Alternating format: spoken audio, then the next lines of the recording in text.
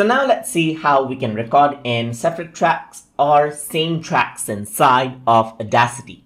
So over here, if I were to go around and press the record button, I can record my audio as it is and it is recorded in one track as you can see. I'm going to press stop right here and if I were to press record again, what happens is that it records that out in the same track and you can see this little line indicating where I stopped the track right here. So now another thing that you can do is you can record out in a separate track and not on the same track. So for that, you can hold shift on your keyboard and here you can see that the recording button changes out.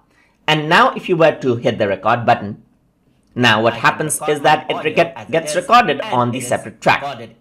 You can also hear out my previous audio on top of this when I uh, actually start recording right here. So it's usually a good idea to use headphones so that your microphone does not capture your audio again on the second track.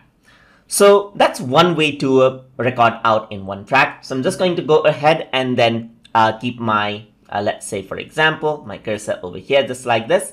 And now what I'm going to do is I'm going to go around onto the end. And if I want to record from here, I'm going to hold shift to record in another track and then hit the record button. So now what happens is that the recording happens from that particular area.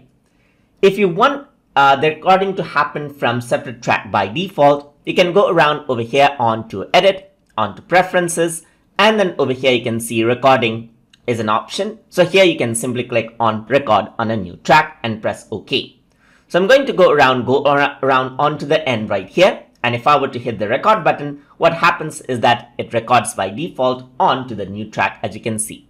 Let me go around onto the end itself. And if I were to hold shift now, what happens is that it'll start recording it out on the track it is selected that is on the same track. You can go around over here. So hold shift and click and what happens is that it records that out in the same track as you can see.